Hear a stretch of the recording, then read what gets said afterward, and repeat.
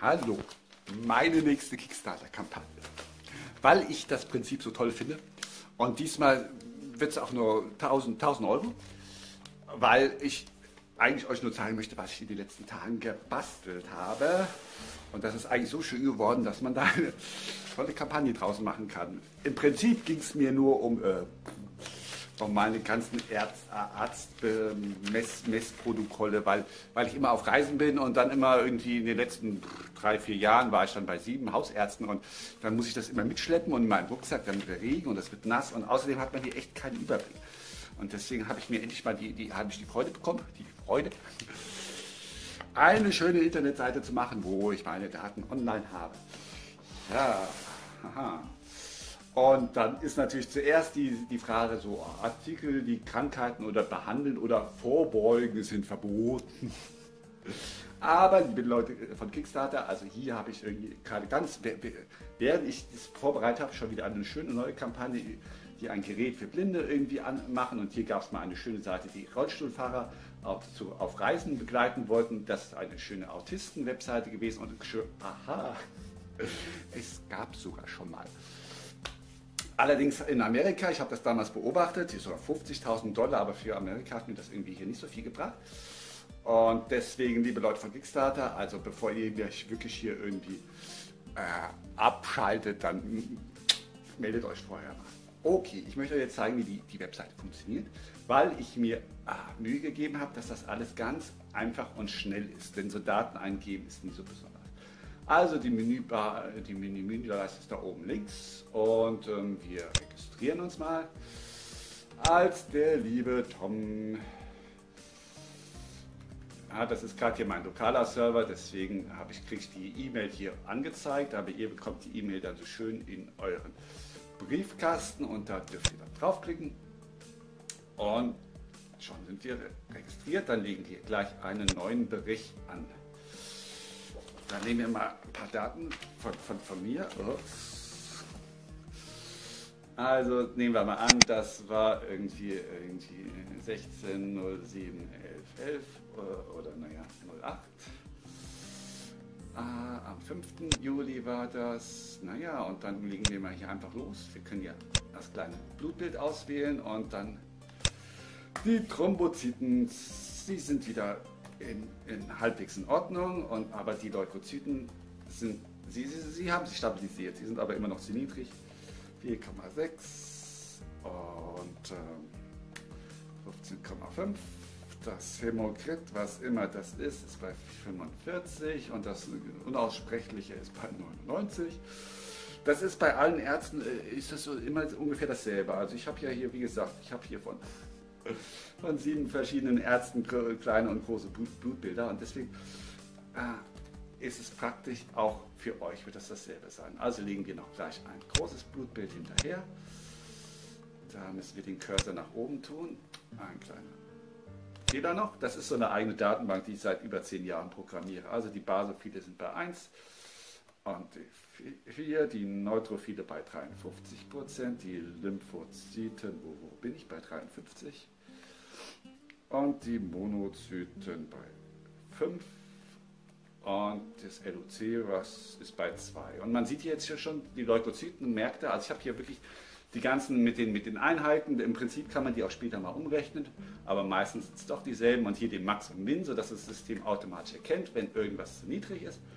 Das Datum haben wir nicht abgespeichert. So. Tja, also hier kann man im Prinzip wieder Blutbilder löschen. Und, und hier kann man halt noch die verschiedenen, irgendwie so Borreliose und alles Mögliche dazu tun. Naja, speichern wir mal ab. Und schon haben wir unseren ersten Bericht. Schön irgendwie zur Übersicht. Und dabei wurde auch gleich mein Profil angelegt. Ja, und dann sagen wir mal, ich habe eine unbekannte Krankheit. Hier kann man es öffentlich machen. Ah, das empfehle ich Sachen erstmal keinem. Das ist eher so, so, so ein Hilferuf oder so, wenn man halt irgendwie andere irgendwie mal sein, seine Sachen zeigen möchte. Also könnte ja, wenn man da kein Problem mit hat, also ich habe jetzt meins öffentlich gemacht, weil ich habe jetzt kein Problem damit, dass meine Leukozyten irgendwie zu, knapp unter der Grenze sind. Ja. Ernährung, der ernährt sich, äh, nein, ich ernähre mich ketogen, also alles. Äh, Keto-Vegan. Und die Ärzte, sagen wir mal, äh, kann man seine Ärzte, da habe ich jetzt meine Ärzte, aber dann würde ich halt irgendwie in Zukunft dann auch andere Ärzte können, kommen dann hinzu. Und dadurch kann man, wenn man auf Reisen ist, kann man, äh, oder wenn man zum neuen Arzt kommt, kann man einfach mit einem Klick den Arzt hinzufügen und wenn man dann bei ihm im Sprechzimmer sitzt, die haben ja heute alle einen Computer auf dem Tisch, dann sagt man einfach www.vidoc.de und schon hat er Zugriff auf alle. Ah, hier, ne? da ist jetzt unser schöner Bericht. Tja, das speichern wir noch ab. So, und dann locken wir uns aus. Rechts oben klick kann man sich auch auslocken. Und dann locken wir uns mal als mein Hausarzt ein. Ja, das sind jetzt die Ärzte, die zurzeit drin sind. Da kann man im Prinzip hier, da können die ihre Standorte eingeben. Also wenn er hier jetzt Berlin eintippt und dann auf Find, dann ist er nach Berlin, ein bisschen Text, ein paar Fotos und hier ein Logo. Ja, aber das Interessante ist halt, er kann jetzt hier zum Beispiel suchen. Das ist immer, ah, meine, meine tolle Datenbank. Mit neu kann man irgendwas erzeugen, was einem dann gehört. Mit öffnen kann man irgendwas ähm, öffnen, was einem gehört. Und mit suchen kann man irgendwas suchen, was einem nicht gehört. Also wir suchen mal nach Patienten. Denn das ist das Besondere. Ihr werdet ja eh schon alle wieder Nein sagen und planen überhaupt. Es ist wichtig, dass unsere Daten uns gehören. Das wird vielleicht sogar meine nächste, die vierte Kampagne. Und es ist deswegen hier von Bedeutung, dass halt ich die Seite gemacht habe, weil ich selber ein Patient bin. Und ich habe auch kein Interesse, die Daten an irgendjemanden zu verkaufen oder irgendwelche äh, Suchanfragen und, und, und mit irgendwelchen äh, Versicherungen irgendwelche äh, Verträge zu schließen, äh, ja, sondern mir geht es einfach darum, dass meine Daten irgendwie halt verfügbar sind und dass ich die auch gerne äh, dann teilen würde mit anderen, die vielleicht auch Borreliose haben oder so ähnlich. Ja, und, und deswegen ist es von Bedeutung, also ich, ich halte nicht so viel von dieser ganzen Anonymität im Internet und die einem dann nur dazu irgendwie die, die Freiheit geben, irgendwelche Hasspostings auf Facebook zu machen. Äh, aber eine große Geschichte, andere Sache. Ähm, es ist aber trotzdem hier auch von Bedeutung, dass äh, die Seite ist in erster Linie von Patienten gemacht und für Patienten und die Ärzte sind dann so als Teamwork kommen, kommen hinzu. Ja? Und deswegen kann jetzt hier eben der Arzt praktisch, ähm, das sind nicht seine, ähm, ja, sondern das sind meine und ich habe sie ihm dann zur Verfügung gestellt und, und das, ich habe ja auch, aber das seht ihr dann bei meinem Profil, also hier der Tom, ja, und naja gut, da könnt ihr ja gleich stehen. Wenn er den Robo sucht, dann hier, da sieht er halt schön die, die Kurven. Mit ach ja, hier mal eine schöne Seite. Also das hier, man, man bewegt sich durch den Cursor. Also wenn man den Cursor nach oben macht, dann, dann rutscht, rutscht die Seite. Das ist mein Flutix-Mode. Aus, schon über zehn Jahre habe ich den. Und, und in zehn Jahren, jetzt weißt du, mit, mit, mit, den Tablets, da ist ja das mit dem Verschieben und so, das ist so langsam in und in zehn Jahren werden die Leute dann auch irgendwie meinen schönen Flutix-Modus. Flutix der ist nämlich dafür gemacht, dass man irgendwie ganz schnell irgendwelche Daten ähm, praktisch mit der String Q kann man so ein Objekt wieder löschen. Aber gehen wir ruhig hier oben hin. Ach ja, falls euch hier diese, diese Helplinks, da gibt es hier so ein Fragezeichen, da kann man draufklicken und dann ist es weg. Aber nur, wenn ihr Cookies aktiviert. Aber ohne Cookies geht meine Seite nicht. Weil sowas kann man, kann man, kann man nicht ohne JavaScript machen. Ja. Also ihr seht auch schon gleich hier, der Arzt hat Zugriff auf, auf meine abgescannten Fotos. Das möchte ich so nebenbei erwähnen. Ja, okay, das war der Arzt und das ist eben schon, äh, also man, das hat Zukunft. Der Arzt kann sich jetzt zum Beispiel Berichte suchen, äh, die, die von Personen, Personen, die Borreliose haben. Ja, dann kriegt er halt jetzt nur, nur meine Berichte. Und, oder er, er kann irgendwie Berichte, die, die, die, es gibt ja auch so eine Advanced-Suche, Advanced Search. Das möchte ich euch jetzt zeigen, nicht, dass ihr das alles sofort machen müsst, sondern um eben das, ähm, es geht hier ja um eine Kampagne, also um das Projekt, um, um das, was irgendwie, ich, ich möchte jetzt keine Menschen heilen oder sowas, ja, und, und ich möchte unbedingt auch nicht vorbeugen, aber natürlich möchte ich die Welt besser machen. Und gerade im, im, im Gesundheitswesen, im Krankheitswesen gibt es eine Menge, das man besser machen kann. Also 80 Millionen Deutsche irgendwie geben 100 Milliarden äh, Euro für, pro Jahr für, für, fürs, äh, für das Krankheitswesen aus. Und ich habe es mal durchgerechnet. Von den 100 Milliarden Euro könnte man die gesamte Weltbevölkerung von 6 Milliarden Menschen ernähren. Ja, ähm, und ich mache hier gleich noch so Kommentare, glaube ich. Wo, jetzt sehe ich halt, was meine Ärzte alles irgendwie ähm, für, für, für Laborwerte blödsinnigerweise irgendwie gemessen haben. Also, wo ich war bei der Advanced Search, also hier die Advanced Search. Ah, nicht bei den Patienten, bei den Berichten, da ist sie noch. Also wir könnten zum Beispiel, er kann zum Beispiel dann suchen, was alle kleinen Blutbilder oder überall, wo Borreliose gemessen wurde. Also, äh, ja, oder, ähm, oder direkt, sag ich mal, wo ist denn überall der Glukosewert gemessen worden von Patienten, die Borreliose hatten? Oder so, um, um die mal zu vergleichen. Ja? Und, und dann, dann schickt man hier auf Senden und dann naja, kriegt man jetzt wieder noch nicht, weil ich noch alleine bin. Außer meine, meine liebe Stofffrau, aber der, der, der geht es eh nicht so gut, dass, dass die da mitmachen möchte. Ja, und ihr seht zum Beispiel, ne, das sind zwei verschiedene Ärzte, die, die nicht eher, ne, hat dann eben Zugriff. Äh, die, die, die liebe Frau Klein aus Kulbach, mit der, äh, die ist noch, die zähle ich noch zu meinen Hausärzten.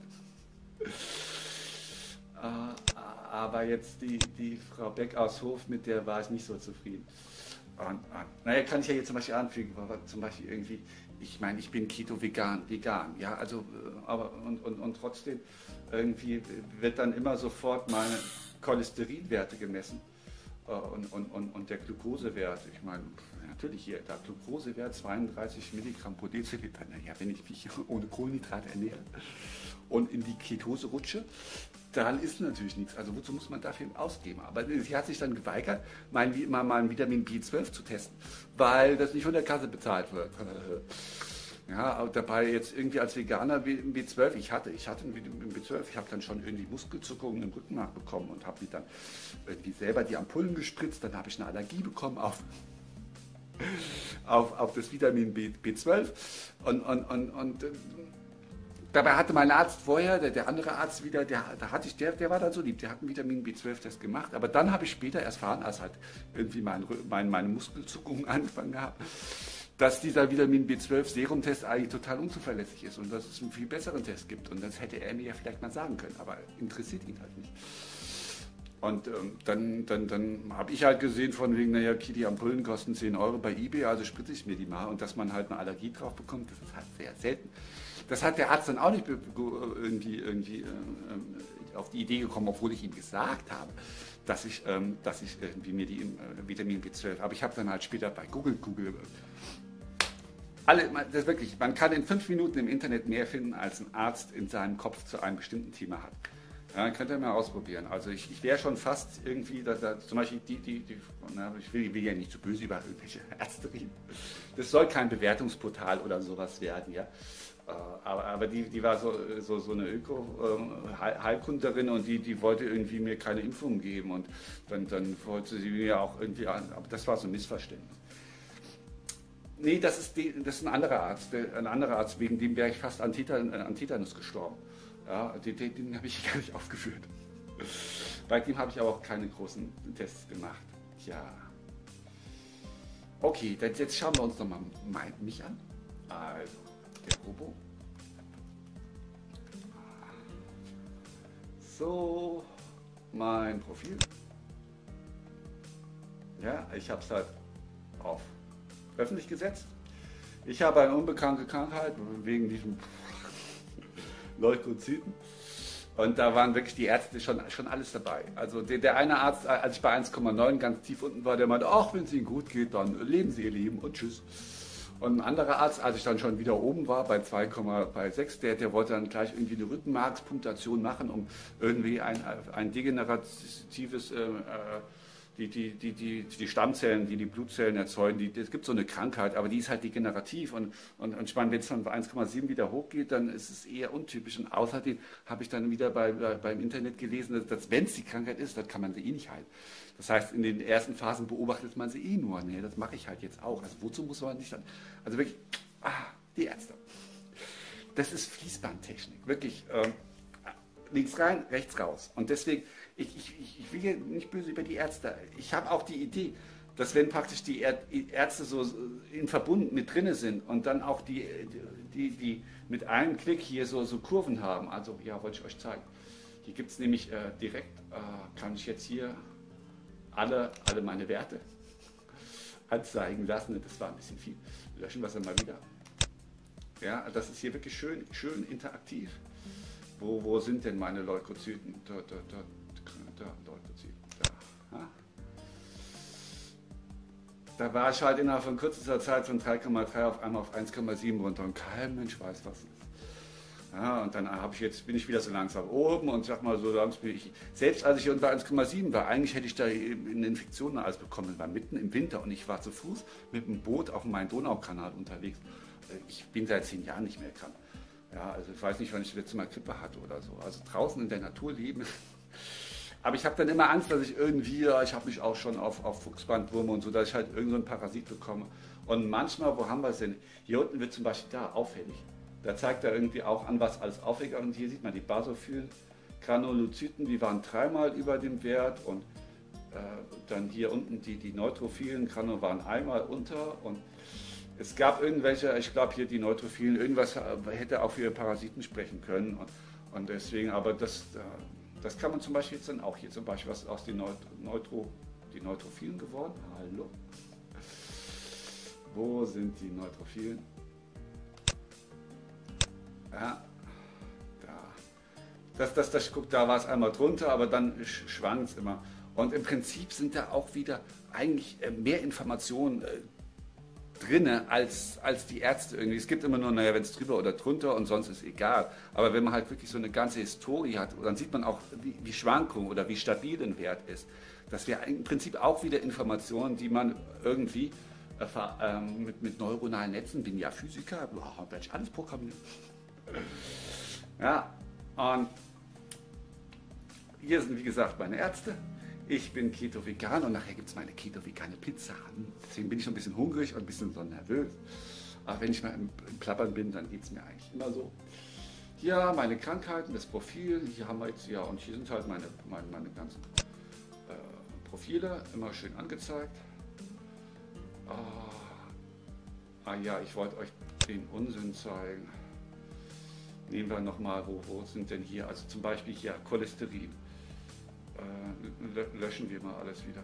Ah, also erstmal alles ausgehen, alles wieder weg. Und Cholesterin ist alphabetisch geordnet da. Das Gesamtcholesterin und, und Cholesterin HDL und Cholesterin LDL. Ja, also von, von meinen irgendwie, wie viele Berichte waren das jetzt hier? Ich weiß nicht, sieben Stück oder was? Viermal Cholesterin gemessen, zweimal LDL, ah, die, die, die beiden Werte. Und ich meine, ich, ich bin Veganer, also Cholesterin ist absolut keine, kein, kein, kein, kein Risikofaktor für mich. Ja? Stattdessen irgendwie wäre doch mal vielleicht Mangelernährung. Ja, das ist nämlich auch äh, irgendwie, das muss ich immer darauf achten und ich habe jetzt wenigstens einmal B12, ich meine, jetzt weiß ich so grob Bescheid. Ja, aber es gibt ja auch noch Eisen. Ah, wo haben wir denn hier zum Beispiel? Habe ich inzwischen auch Kalium und, und wo ist denn hier Calcium? Ah, da oben Calcium. Ja, die Calciumwerte und anstatt eben dieses Schema F, das was die Krankenkasse bezahlt und, und einfach links rein und rechts raus, wäre es eigentlich geschickter, dass man wirklich den, den Patient als, als ein Individuum sieht, mit, mit seinen Eigenschaften, äh, wie ernährt er sich und, und, und welche Krankheiten hat er schon mal und, und, und sowas. Ja? Und da ist eigentlich, denke ich, sollten sich die Ärzte auffreuen, wenn man ihnen so ein Paket irgendwie gibt. Ja, ich meine, wenn ich den Ärzten hier damit gekommen bin und von denen, ja, wollen Sie von meinen Vorgängern, die, nee. Und, ja, und ob, obwohl ich jetzt schon irgendwie den, den Borreliose-Test äh, hatte, und dann hatte mein, mein, mein lieber Arzt hier, der war dann so lieb, hat dann den, den Westernblot gemacht, der war halt auch positiv. Dann war ich bei einer Spezialistin, die, die liebe Frau in Kulmbach. Und, und, und, die wollte dann gleich den, trotzdem nochmal, der kostet 100 Euro, wollte sie gleich nochmal machen. Ich meine, wozu? Sie wollten halt nochmal machen. Und jetzt habe ich gesehen, sie hat nicht nur den, den Immunblot nochmal gemacht, sie, sondern sie hat auch den Serumtest gemacht, der ja eigentlich ziemlich unverlässig ist, zuverlässig ist. Ja? Und wenn halt die, die, Ärzte schon sehen, woher man kommt und man ihn wirklich so auf eine schöne Art, so mit Kurven irgendwie, ja, dann denke ich, äh, könnten auch die Ärzte eigentlich ein bisschen mehr Freude auf den Patienten irgendwie sehen, zugehen. Und, und ich habe, das kommt dann später auch, ich habe so, wenn einer von meinen drei Ärzten zum Beispiel äh, eine Idee hat, dann könnte er das auch mit den anderen teilen, sodass sie praktisch die alle eine Rechnung stellen, haben sie nicht alle drei auf einmal behandelt. Ja? Also ich denke, da ist eine Menge Potenzial. So. Ah ja, ne, das mit den Ärzten, weil ich jetzt, weil ich so auf sie rumgehauen habe, kommt jetzt noch der Oberhammer. Das ist wirklich so äh, Fließband. Ja, ich meine, wir, wir alle wissen es. Wir, wir haben alle schon die Odyssee bei den Ärzten hinter uns. Ja, und es ist wirklich. Ich logge mich hier nochmal auf und, und, und zeige euch dann ah, noch meine. Ah, das Impressum muss ich euch nicht unbedingt zeigen. Dann nehmen wir mal hier. So, mein, mein, ah, meine 3D-Männchen. Die Odyssee, es ist wirklich so, der Arzt, äh, Fließbandarbeit, Standarddiagnose. Man kommt rein, hat irgendwie Wehchen, irgendeine Standarddiagnose, Schema F, die, die bei 60 Prozent zutrifft, ja. Von den 40 Prozent, bei denen sie nicht zutrifft, kommen 80 Prozent eh wieder, weil wir hier im leidgefüllten Christentum leben. Ja, und von den, von den ähm, war das, 20 Prozent der 30 Prozent, die nicht wiederkommen, sondern zum anderen Arzt gehen, die werden ersetzt durch andere Enttäuschte, die von einem anderen Arzt zurückkommen. Ja? Und, und es ist wirklich so, die, die, ich meine, das Arztzimmer ist voll, man, man kommt da rein und, und man, man, man ist kein Mensch in dem Sinne, man hat ein Wehwehchen und dann zack, raus, vergessen und der nächste rein. Und, und deswegen finde ich, wer, es wirklich, äh, ich möchte wirklich, äh, das, ich mache das Video auch jetzt für meinem Arzt, um ihm das zu zeigen, dass er doch vielleicht sich da mal jetzt wirklich anmeldet. Äh, ich, ich, will ihn nicht gleich dann zu überreden, dass er alle seinen Patienten das dann auftritt oder sowas. Ja, das kann ja dann von, von meiner Seite irgendwie über so eine Kampagne ausgehen. Ja, ähm, ich finde, die Ärzte sollten sich schon äh, darüber freuen, dass, dass wir Patienten uns so ein bisschen irgendwie ähm, hübsch, hübscher machen. Okay, hier kann man sich halt alle Ärzte anschauen, das, das, das, das hatten wir ja eigentlich schon. Da ist halt die liebe Frau Klein. Da könnt ihr sehen, die hat hier irgendwie so, so eine schöne, irgendwie über die Borreliose war sie schon in der Zeitung. Und ja, mit String Q kann man irgendwie, das steht auch hier, da kann man irgendwie das schneller aufmachen und das ist mein lieber Dr. Fleißner. Ja, und, und man kann jetzt hier, wie gesagt, bei Search Krank Krankenakten, da ist jetzt meine auch online, ja, aber da kann man jetzt hier zum Beispiel nicht mehr interaktiv suchen. Und unten, da, ach ja, man kann auch ein Foto. Man kann auch ein Foto. Der Roland mit seinem Keto, was habe ich da gegessen? Äh, irgendwie Tofu mit Paprika bei strömendem Regen. Da gab es auch noch einen schönen Regenbogen. Ja, und hier fehlen halt jetzt die, die, die, die Screenshots, weil da sind ja schon irgendwelche persönlichen Adressen und so Zeugs drin.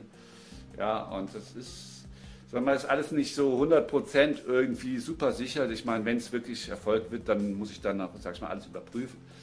Ja, aber es, zum Beispiel hier wird jetzt auf dem Server schon überprüft, ob ich öffentlich bin und wenn ich nicht öffentlich bin, dann wird, werden die Daten hier unten wirklich gelöscht äh, äh, und gar nicht erst zu meinem Client geschickt und so. Also bin irgendwie schon halbwegs irgendwie zufrieden mit meinen tollen. Ja.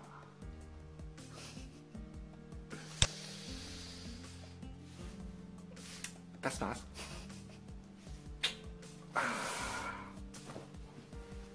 1000 Euro. Das wären vielleicht 50 bis 100 Leute. Und ich bin echt nicht der Typ, der so äh, irgendwie seine, seine, Sachen bewertet. Ich mache es, weil es mir Freude macht. Ich habe es für mich gemacht. Es wäre eigentlich eine tolle Sache, ähm, wenn man da irgendwie wirklich das hätte Zukunft. Und ich, ich sage ja, dass, ähm, es ist von Bedeutung, dass unsere Daten uns gehören. Und deswegen ist es wichtig, dass so, eine, so ein Projekt wirklich von, von uns ausgeht. Ja, und, und dass wir dann praktisch die Ärzte mit einbinden. Ja, und, und, und, nicht umgekehrt. Ja, also wenn ihr darauf wartet, dass Facebook irgendwie so eine super Medizin-App macht, dass dann alle eure Sensoren, ja, ich meine, dann braucht ihr euch nicht wundern, wenn dann irgendwie die Daten irgendwo anders auftauchen oder wenn sie für irgendwelche Zwecke verwendet werden oder wenn die Krankenkasse irgendwelche Bonussysteme machen, mit, mit denen wir dann irgendwie irgendwas und, und dann, äh, ja, dann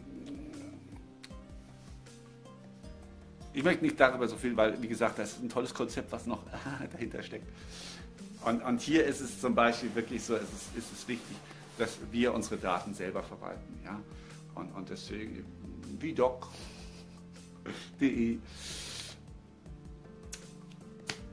Ich würde mich freuen, wenn ihr mitmacht. Und wie gesagt, wenn, wenn ihr irgendeine hübsche liebe Krankheit habt und seid, es gibt so viele Foren, irgendwie Borreliose, Sklerodämie, Arthritis, Arthrose. Und überall gibt es halt wirklich Leute, die, die, immer dieselben Tests machen und die, die auch gerne mal mit anderen vergleichen würden, von wegen, ah, was hast du probiert und, und wie sind die, die Blutwerte haben die sich verändert und so. Und das ist echt, eine tolle Sache. Und ähm, ich werde jetzt nicht im Internet rumrennen und überall Seiten erzählen, wie toll ich so bin, ja, weil ich bin der geborene Verlierer. Und ähm, weil ich nie um Anerkennung gekämpft habe. Und damit bin ich eigentlich sehr glücklich, weil um Anerkennung kämpfen ist scheiße. Und ich unterscheide eh nur zwischen Verlierern und Versagern und ich kann euch sagen, verlieren ist eindeutig schwieriger. Und wenn ihr die Wahl zwischen Verlieren und Versagen hättet, dann würdet ihr alle den Versager nehmen, denn Versager können auch jede Menge Spaß haben. Ja, okay, Dankeschön fürs Zuschauen und wie gesagt, wenn es euch gefällt, macht mit und wenn es euch eigentlich mag ich das nicht mit diesen irgendwie, man soll immer seine Freunde irgendwie, man mal seine Facebook-Freunde soll man alle verkaufen und deswegen, ich, ich erwähne es halt nur, weil wie gesagt, ich werde meine Seite nicht bewerben, ich habe auch keine Freunde, denn Verlierer haben keine Freunde. Und deswegen, wenn, wenn wir wirklich irgendwie 1000 Euro knacken würden, knacken wollen, dann, äh, dann wird es an euch liegen, ja. Aber das ist halt Crowdfunding, darum geht es ja auch. Okay, tschüss.